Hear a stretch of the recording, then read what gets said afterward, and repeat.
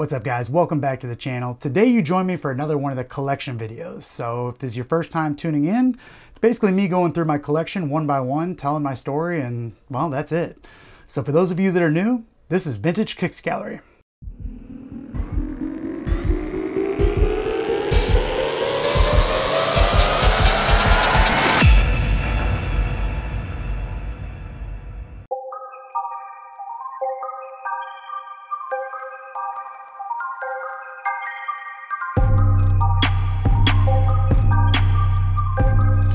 We're gonna get started with a 2019 pair of Jordan 4 Breds and I customized these a little bit. So you guys probably noticed that this is cream color now, and I went ahead and outlined the edges with a little bit of gray because what they messed up on the 2019 release, although they did get the Nike Air right, uh, they didn't do the Durabuck, which is basically the material that these were made out of and the previous releases were made out of.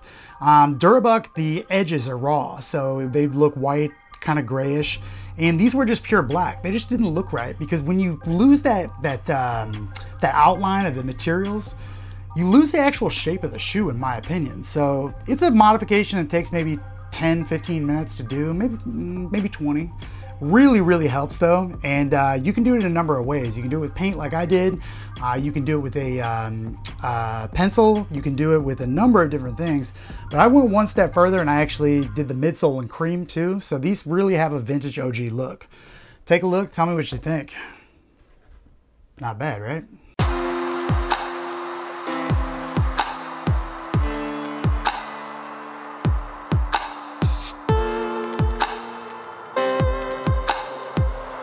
Moving right along, we have a pair of 2008 Nike Vandal Supreme OGs. So these are pretty crazy, I'm not gonna lie to you. They don't get a whole lot of wear anymore, but there was a time that they, well, I had two pairs of them, we'll put it that way. Um, I really like these. I don't have an OG pair anymore from 1985. I did and I sold them. And since I sold them, the prices have kind of gone through the roof on the OG pairs. I do really, really like the Vandals, especially the 85s, 84s. Um, they really, really, they wear good still. And this material here has a little bit of reflectivity to it. So it doesn't weather as good as say the blue pair I have or the black pair or anything like that, the Terminators that is. Uh, but still, I just love the way that they look and believe me, they get some attention when you wear them.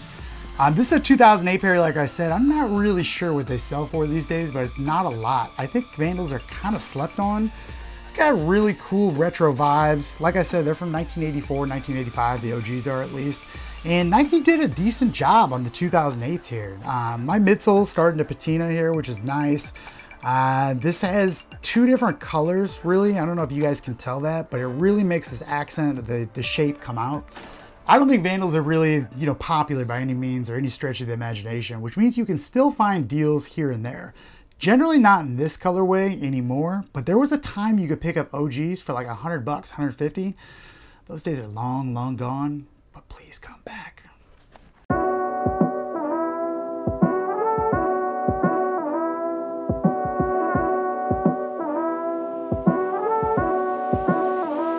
All right, next up we have a pair of 2018 Jordan 1 Shadows. And guys, I really, really like these as far as the retros go. I think Nike did a really good job. I mean, they didn't get the check right. They didn't get the materials quite right. But the materials on these are really good. This era is not bad. My pair in particular does not have that overly tumbled leather that some of these have. You know, the quality control just wasn't there for these releases. Um, so some of them have really, really pebbled or tumbled toe boxes. Some people will get this um, heel cup with a lot of texture to it. Luckily, my pair doesn't have that. So I do wear these from time to time. Uh, I really need an OG pair, guys. Really, really bad. I really want a size 10 and a half or 11 too, so I can wear them. I just don't want to pay the money. The last pair I saw went for $5,600. I think the retros these days sell for like 500, which is still obscene and insane. These sold for basically nothing for a while. Even after, right after release, even when the resellers are hungry, they weren't selling for much. I mean, they barely went over retail for a long time. That being said, now that the Jordan market has exploded, so have these.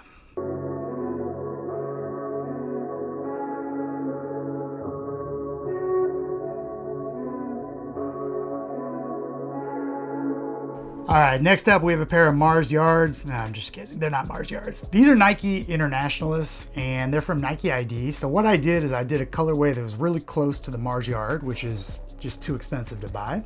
And uh, then I did some red accents here and there. I dyed this brown. It really needs to be re-dyed.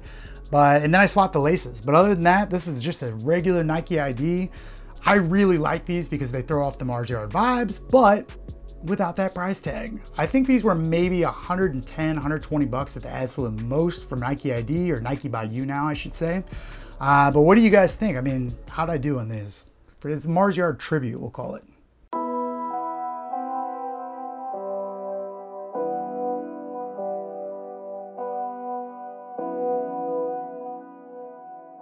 All right, next up we have a pair of AJKOs in the Shadow colorway, and these are from 2015. Um, this pair in particular has been beat to death, and they really look good beat, I mean, in my opinion. So this should be vibrant, this should be gray instead of a, we'll call it a beigey color now. Um, I like that these have the correct branding on them. Some of them have the Jumpman, these do have the Nike swoosh, which is what you want. Uh, I wear mine with the side, the, the wings flaps, just like this. So I uh, lace them behind there. I know that's not the most popular way to wear them, but guys, give me a break. It's just the way I like them. Um, other than that, I mean, it's pretty much your basic AJKO. So these don't sell for anything now, guys. This is the way to go, I'm telling you. With the Jordan market absolutely insane, it's not gonna be long before these really start to catch on, I'm telling you. And they look basically like a Jordan 1. I mean, from a distance, we'll say. They just have lesser materials, but I don't think there's anything wrong with the canvas upper. And like I said, they really age well. I mean, take a look. Not bad, right?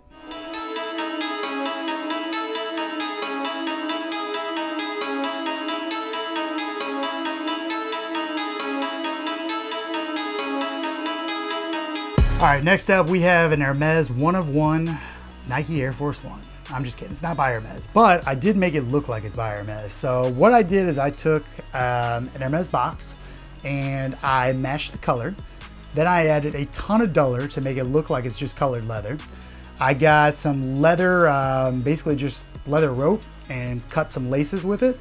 Then I took an Hermes dust bag and I cut out the, uh, the logo basically around that, folded it over, put it on as a tongue tag, and then I finally capped it off by taking the ribbon that they put around the boxes at Hermes, cut it, and then um, I think I glued it actually to the back here. Don't tell everybody I glued it. But it looks like it's stitched on there because it has the stitching on the sides. Guys, these get a ton of attention by people that don't know that they're customs because they fool a lot of people into thinking that they're actually Hermes, you know, shoes, that they did a collaboration with Nike. That would never happen. But if they did, I'd probably buy these. I mean, I like them. I think they look really dope. Um, Hermes is, you know, it's a really luxurious brand for those of you that don't know. That's who makes the Birkin bags. They cost, you know, 30,000 plus dollars. The belts are over a thousand bucks. Anything by this brand is outrageously expensive, but they're known for this color and they're known for their exquisite leather.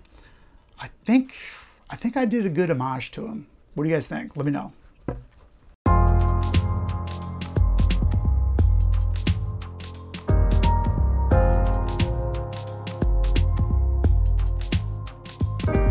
All right, next up we have another Jordan 4 from 2019, and this is a retro of the cool gray. This is the first time that they retroed it. Um, they do not have Nike Air in the back, but it's okay because the OG didn't have it either. And um, these sell for a ton of money now. I don't know when this happened, but this is another pair that did not sell for a ton right after release, but since the Jordan market has kind of exploded, well, these have too.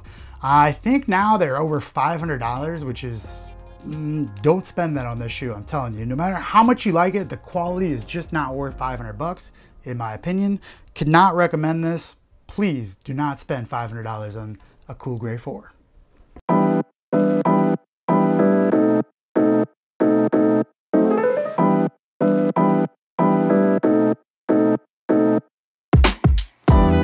All right, guys, next up we have a pair of 1988 Nike Air Revolutions, and these are the OGs. They, um, they're dead stock, but as you can see, the midsole still is crumbling away as Nike midsoles do. Other than that, they're absolutely beautiful. Um, I know before you guys ask, I'm not gonna sole swap these because I'm not gonna wear them. They're not my size even. I wanted an OG pair. Uh, these came up for like 80 bucks maybe one day at auction. You know I had to buy them for that. Um, they're really good quality, you know, as anything is gonna be from this year, but I really like the uh, Air Revolutions because they have all these key Jordan 3 details. So like we went through with the Air Assaults from the same year, this kind of has that same design cue to it. Really, really like these. And Nike Air in the back. How cool is that?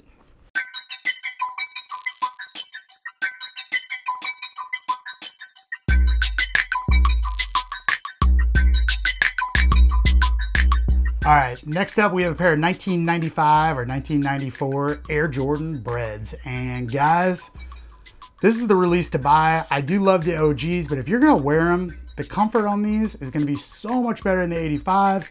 They still have really, really nice leather. Now they don't have the correct check, they don't have the correct shape, but they really, really look good. They just sell for an astronomical amount of money right now. I could not believe it when I looked online at what these things sell for. 5,000 plus dollars I saw in some, in some sizes. Guys, come on who is buying this stuff? That is absolutely insane. But this pair has seen better days, but I absolutely love the way that the leather on these ages. On the 94 and 95s, they really get this like sheen to them. It's a good look, trust me. And um, you know, these this this pair gets worn. I have a couple of these and probably gonna sell one of them because the prices are so high. We'll see.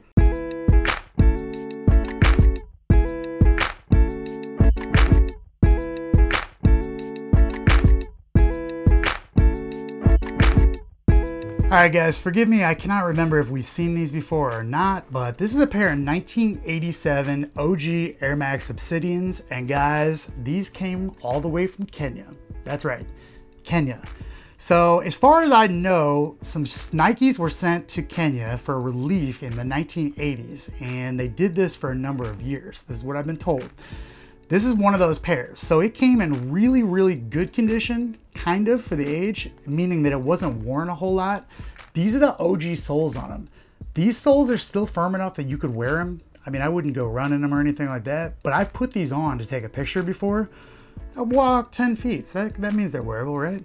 Uh, but honestly, guys, these are awesome. It's one of my favorite pairs of Air Maxes I have. I absolutely love them, and we're gonna get into one more of the OGs. This material here on the OGs tends to really get disgusting over time.